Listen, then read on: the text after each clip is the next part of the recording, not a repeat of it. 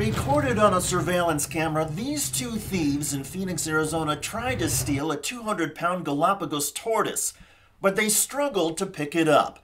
The owner, Jerry Fife, saw what was happening and confronted them.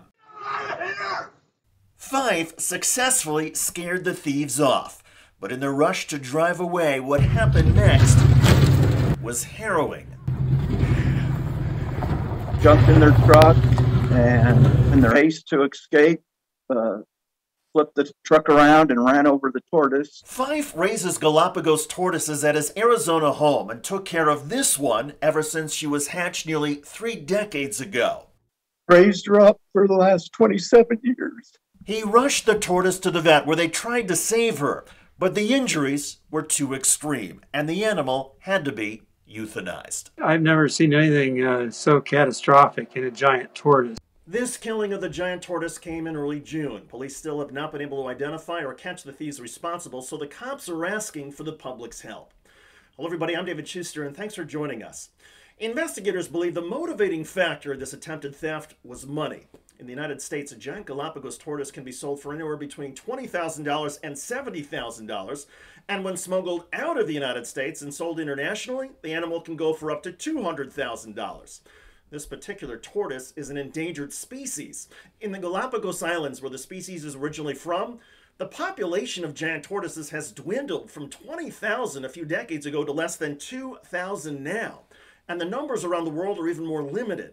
So the death of every remaining giant Galapagos tortoise is heartbreaking, and the killing of a giant tortoise in this manner, where its whole top shell was literally crushed and pulled off, that is beyond cruel.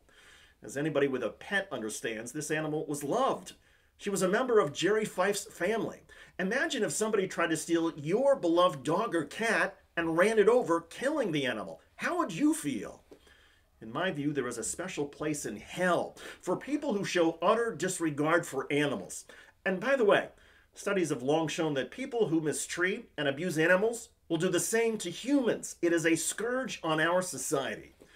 Over the past few years, thefts and smuggling of giant tortoises seems to have increased. It correlates with a growing popularity of large tortoises and turtles as family pets. Actor Leonardo DiCaprio has one. So does former NFL quarterback Colin Kaepernick. But they own African spurred tortoises, which are a bit smaller and more abundant than the giant Galapagos tortoise. In any case, police say this latest incident came at 2.30 in the morning. The thieves apparently drove a dark pickup truck Jerry Fife says a motion detector connected to his yard prompted him to look at his phone, see what was unfolding, and run out and yell. Investigators suspect the thieves are part of an exotic animal smuggling ring. So, if you have information about this case or recently tried to purchase an exotic animal and had suspicions about the sellers, police in Phoenix, Arizona want to hear from you. Furthermore, Jerry Fife is offering a substantial reward for information that leads to an arrest. A tortoise has been with me longer than any other living thing in my life. Giant tortoises, like other animals, are living, breathing, feeling creatures.